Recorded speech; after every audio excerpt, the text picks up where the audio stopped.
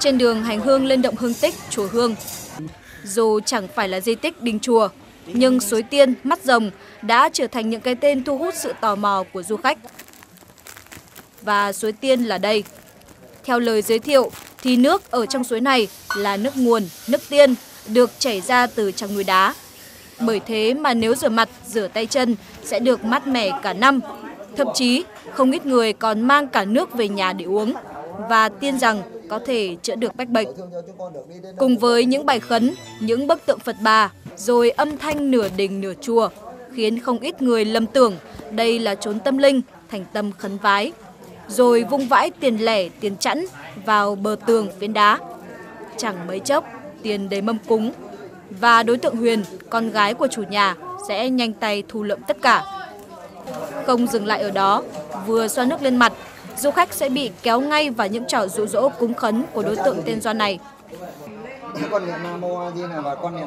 Sau bài khấn, tùy vào sự quan tâm đến mồ mả, đất cát, tình duyên hay cầu tự mà du khách sẽ được đưa đến bàn của đối tượng Trang, đối tượng Thụ hay đối tượng Phát. Tại đây, các đối tượng lập tức ban phát cho du khách những cậu đỏ hay tiền lẻ. Tối lên đi ngủ vợ chồng con xoa tay vào đầu cậu bé này thì cậu sẽ lưu ứng cho cậu bờ để sau này sinh được một quý tử nha rồi lập tức yêu cầu du khách phải đóng tiền để những đối tượng này mang về một ngôi chùa nào đó. Gia đình nhà mình dâng chọn đạo một năm 360 ngày là cậu dâng bằng 360 ngàn đồng để làm lễ cầu con trai cho cậu, cậu lấy tiền cậu cho đây đó. Sau khi nộp tiền, du khách sẽ được ghi tên vào cuốn sổ này. Cùng với đó là một cậu đỏ và vài đồng tiền lẻ mang về. Nhiều người sau khi nộp tiền mới nhận ra là mình đã bị lừa. Nhiều người có nhiều người đấy, người thì hỏi là có, có gia đình chưa? Hay nếu họ chưa có gia đình thì ở cầu sẽ có uh, có gia đình.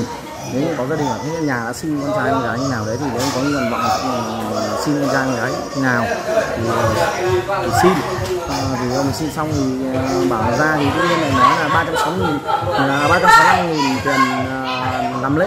Thực ra đúng 365 nghìn đối với mình đi lễ chùa thì nó không đáng là gì ngay lúc xuống bước chân xuống dưới mình anh em trai mình đấy mình cũng nói luôn mình bảo là thực ra thì mình cũng không biết nào thì nó nó mình thấy tự nhiên nó nó nó có một cái nó làm cho cho người, người ta vào luồng với họ luôn thì mình từ chối thì cũng không theo camera của phóng viên VTC16 ghi lại, mỗi ngày có hàng chục, thậm chí hàng trăm du khách đã bị rụ rỗ nộp tiền cho nhóm đối tượng này.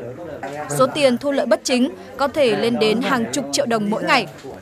Theo điều tra của phóng viên VTC16, nhóm này gồm 7 đối tượng do vợ chồng Trịnh Thị Thu và Nguyễn Văn Xuân cầm đầu. Họ đã thuê Doan, Thụ, Trang, Phát để cùng khấn và lừa đảo du khách. Thu và Xuân sẽ theo dõi và kiểm soát tiền lừa được của khách qua hệ thống camera được bố trí cẩn mật.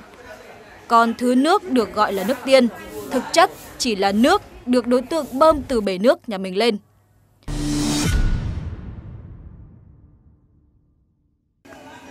3 giờ chiều ngày 20 tháng 2, một tiếng sau thời điểm một lãnh đạo của Ủy ban Nhân dân huyện Mỹ Đức đi tuần. Ập vào động Suối Tiên, lực lượng cảnh sát hình sự công an thành phố Hà Nội đã bắt quả tang 6 đối tượng đã thực hiện hành vi có dấu hiệu lợi dụng mê tín dị đoan để lừa đảo chiếm đoạt tài sản của du khách. Tại thời điểm bắt giữ, nhóm đối tượng đã thực hiện lừa đảo được hơn 3 triệu đồng của du khách và vô số tiền lẻ cùng hàng trăm tượng sáp hình thù bé trai bị thu giữ. Đáng chú ý, 6 cuốn sổ ghi rẻ đặc tên tuổi của hàng chục nghìn du khách đã bị dụ dỗ nộp tiền cũng đã được tịch thu. Đối tượng cầm đầu Trịnh Thị Thu thừa nhận tất cả chỉ là trò lừa đảo của vợ chồng bà này. Bây giờ đi làm ăn thì mình đôi khi nói điều nói toa. Nói điều à? Chứ còn không mang đến chùa nào à? Thế có biết là mình đang vi phạm pháp luật không? Có. Thế tại sao vẫn làm? Thôi ngày xuân tháng hội thì cũng đi như là vụng trộm để kiếm cơm ăn. Các đối tượng Phát, Trang, Thụ, Doan đều khai nhận mình được vợ chồng nhà Xuân Thu thuê đến đây để cúng thuê suốt mùa lễ hội với giá hàng chục triệu đồng. Ập vào khu nhà cấp 4 phía đối diện Suối Tiên, đối tượng Nguyễn Văn Xuân cũng bị bắt giữ khi đang soi camera để canh chừng cho các đối tượng trên thực hiện hành vi lừa đảo. Ban đầu đối tượng này đổ lỗi cho vợ của mình và nói mình hoàn toàn không liên quan đến sự việc.